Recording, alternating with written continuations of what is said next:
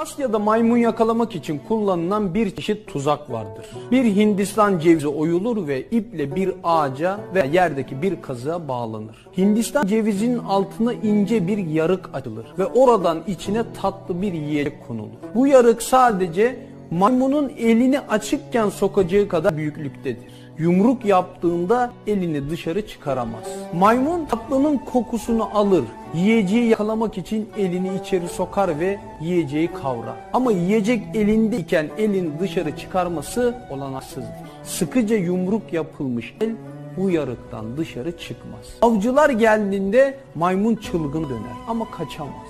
Aslında bu maymunu tutsak eden hiçbir şey yoktur. Onu sadece onun kendi bağımlılığının gücü tutsak etmiştir. Yapması gereken tek şey elini açıp yiyeceği bırakmaktır. Ama zihninde aç gözlülüğü o kadar güçlüdür ki bu tuzaktan kurtulan maymun çok nadir görülür. Bizi şeytanın ve nefsin tuzağına düşüren şey arzularımız ve bırakamadığımız alışkanlıklarımızdır. Halbuki kurtuluş o bırakamadığımız alışkanlıklarımızı bırakmamızla sağlanacaktır. Ama dünyanın süsünü, nefsin arzularını o kadar elimizle kavradık ki can çıkar, huy çıkmaz derler ya.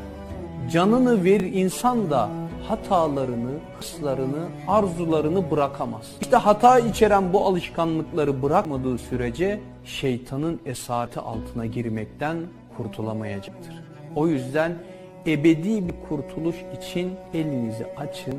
Sizi Allah'tan uzak eden tüm hırs ve arzularınızı bırak. O zaman kurtuluşa, özgürlüğe, huzura ermiş olacaksınız.